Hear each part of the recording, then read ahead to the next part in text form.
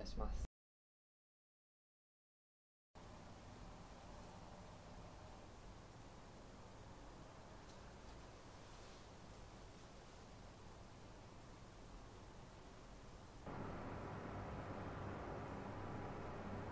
おはようございます。社畜デザイナーの小鉄です。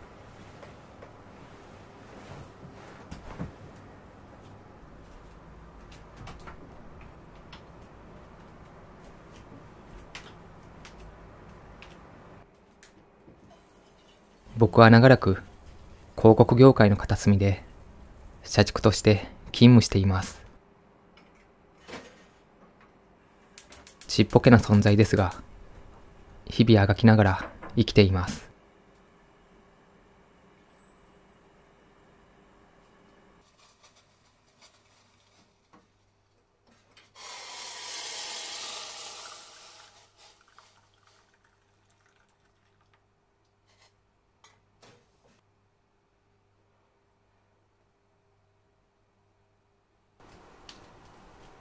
そして、少しでも労働環境を改善すべく、転職活動も並行して進めています。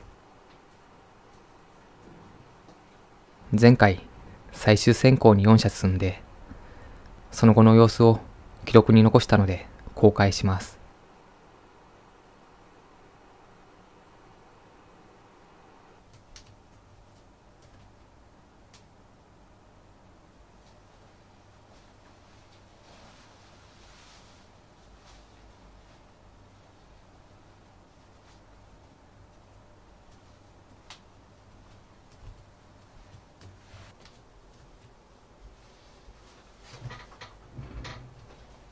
今回もコンプライアンスのキワッキワを攻めながら企業が特定されない範囲でお話しできればと思います。温かい目で見守っていただけると幸いです。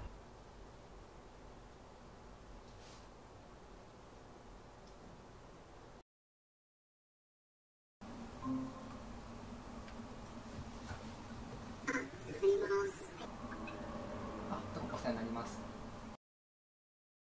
1社目は某 IT 企業です。ここは志望度がそこまで高くありませんが、保険のため受けていました。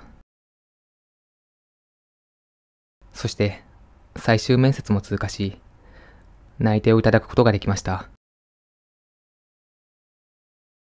事業内容は詳しくは話せませんが、自社でサービスを持っています。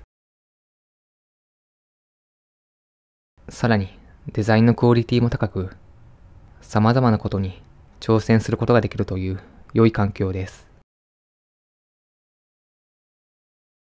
ただ、下調べによると残業時間もそこそこありました。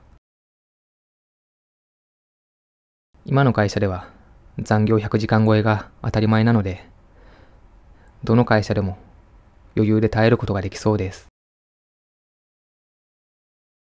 長年の社畜生活によって感覚が麻痺しています。総合的に考えるといい会社なのですが、サービスは成熟していて今後伸び悩みそうです。でも今の会社よりは100倍は将来性があります。このオファーを承諾すべきか悩みます。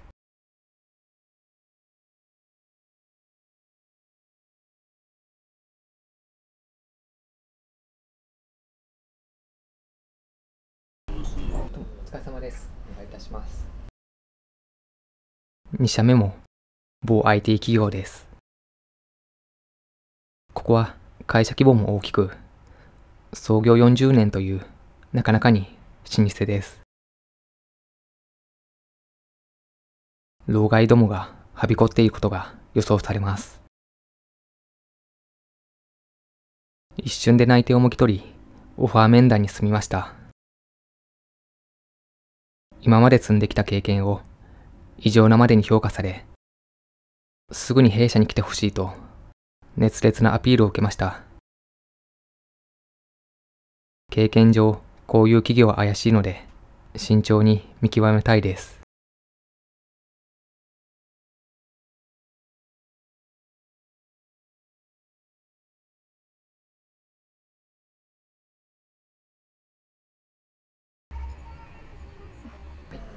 めまして、お願いいたします。3社目は、某広告会社です。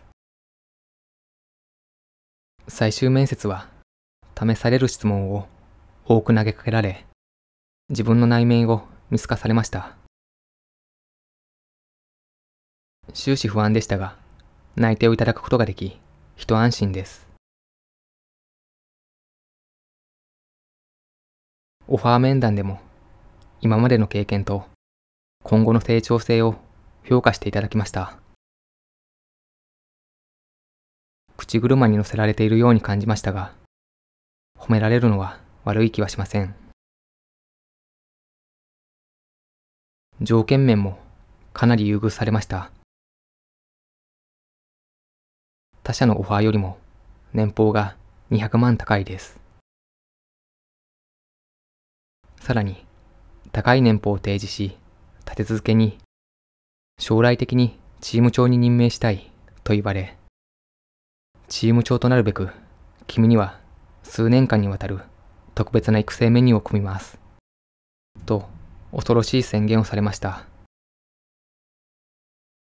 画面越しでも相当な重圧を感じます。この会社に入ってしまうと、残業時間も高記録を叩き出せそうです。成果を上げるために夜な夜な仕事に励む日々が待ち受けています。でも、他社よりも200万高い年俸は魅力的です。やりがい搾取され続けた社畜にとって、その金額は判断力を鈍らせます。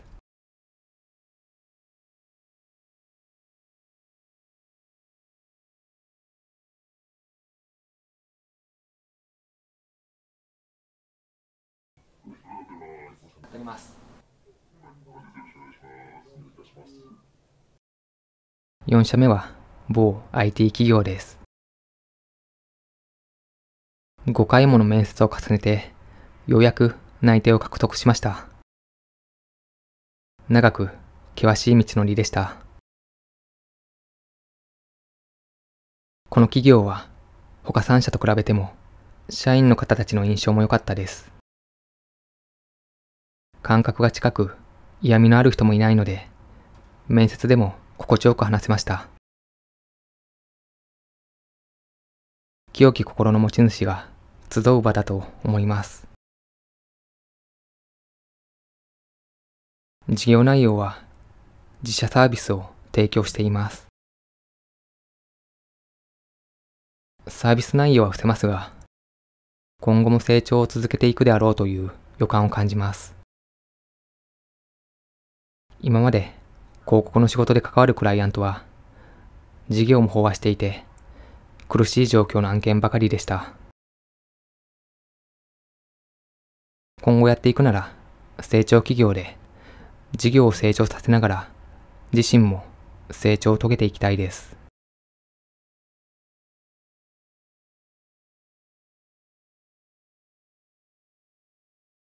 給与面に関しては、今の年収に毛が生えたくらいの金額です。社畜の価値など、その程度のものなのでしょう。働き方は、スピード感のある仕事が要求されるため、激務は確約されています。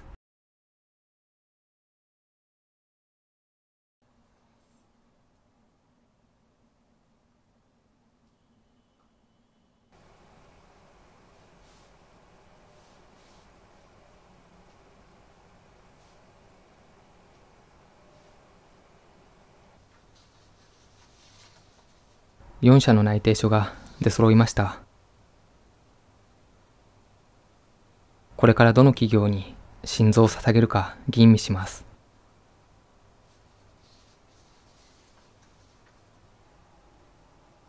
この内定書たちが今の地獄から抜け出すチケットです。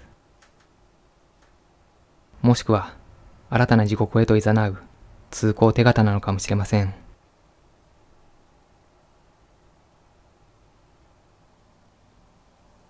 どのような結末が待ち受けているかは入社してからのお楽しみです。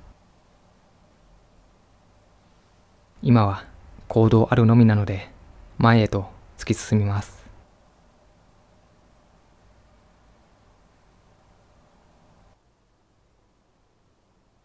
どれがホワイトへの道なんだろう。そもそもこの4社にホワイト企業なんて存在するのか。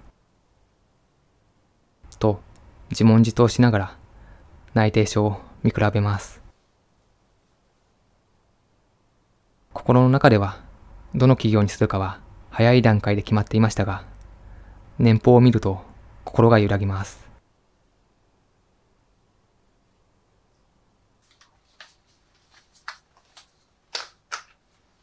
厳正なる審査の結果、一社の内定を承諾することにしました。大変申し訳ないですが、残りの3社には辞退メールを送付します。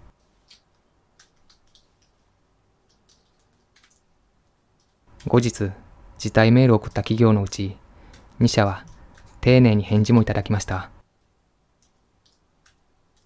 ただ、1社はあれだけ熱いオファーをしてきていたのに、返事はなかったです。内定者への扱い一つにとっても、企業の姿勢が見えてきます。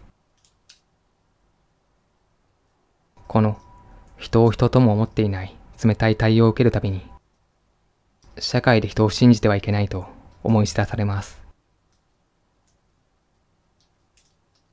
油断すると会社から骨の髄までしゃぶり尽くされてしまいます。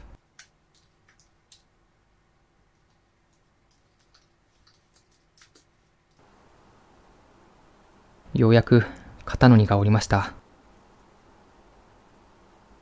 あとは内定先と書面で悪魔との契約を交わすのみです。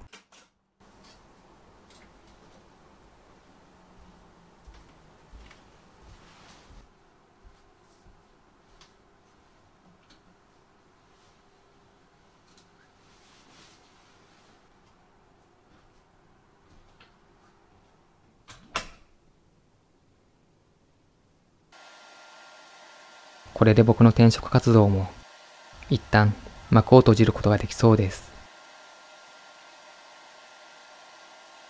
しばらく今の職場で過酷な業務は続くので、引き続き踏ん張りながら耐え抜きます。